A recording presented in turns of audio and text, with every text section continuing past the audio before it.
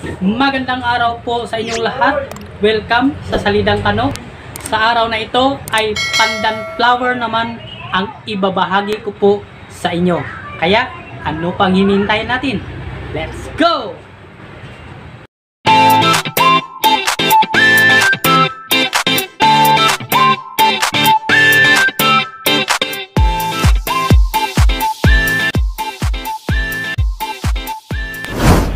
Nandito po ang mga simpleng sangkap nating gagamitin upang makagawa tayo ng pandan flower. Ayan po.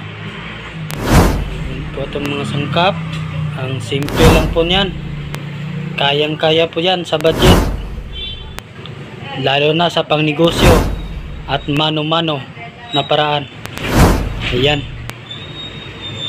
Umpisahan na natin. Let's go!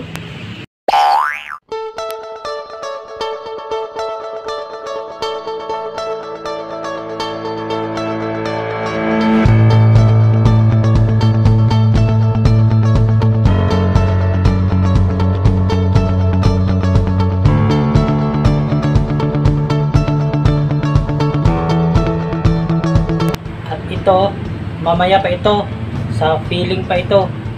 Kaya tabi muna natin ito.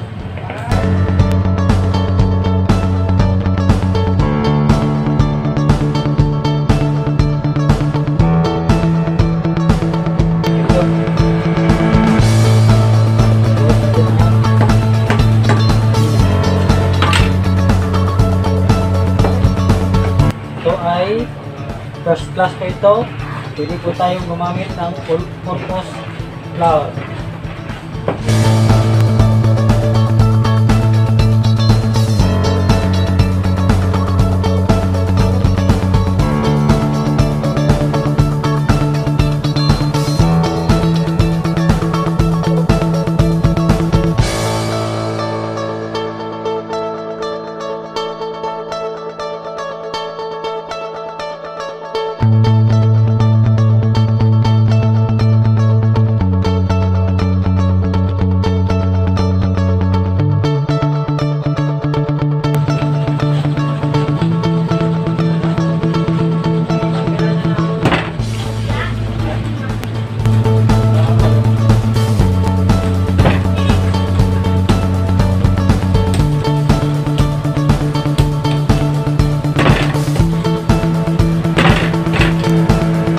Habang pinapalsa pa natin ang dough, dito naman tayo sa filling.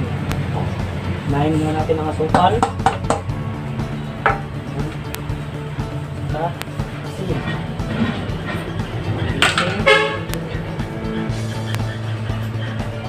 Pandan powder.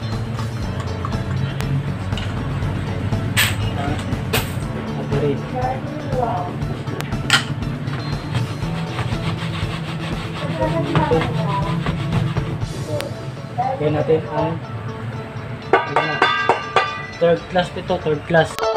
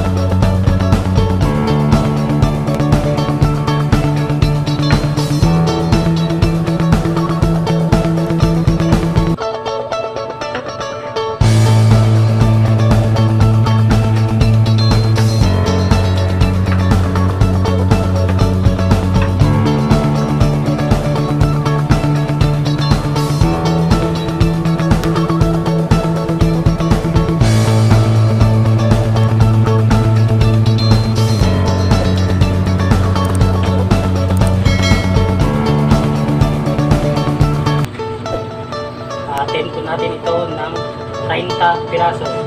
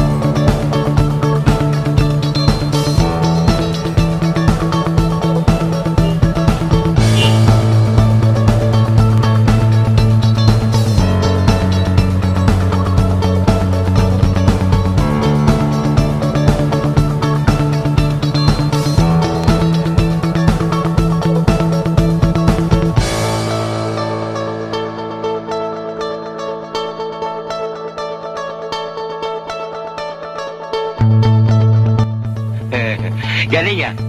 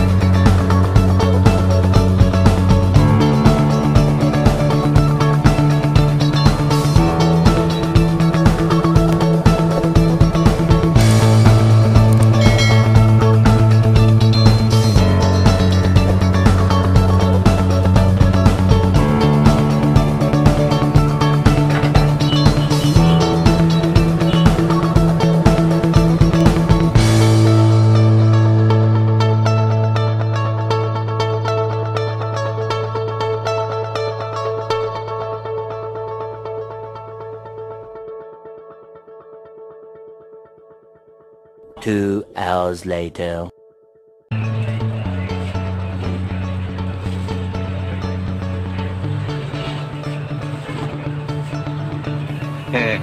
Galing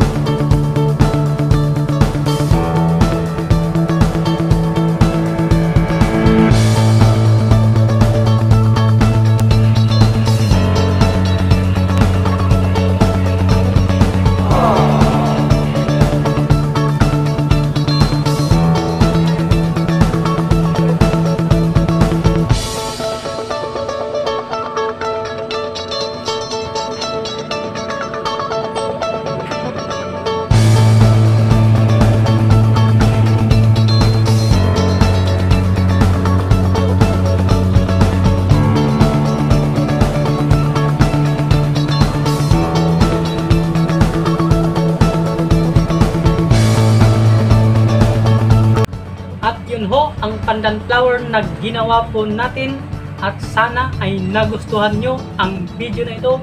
At huwag sanang kalimutang mag-subscribe. At hanggang dito na lang. Maraming salamat. Bye bye Pinasaludohan kita.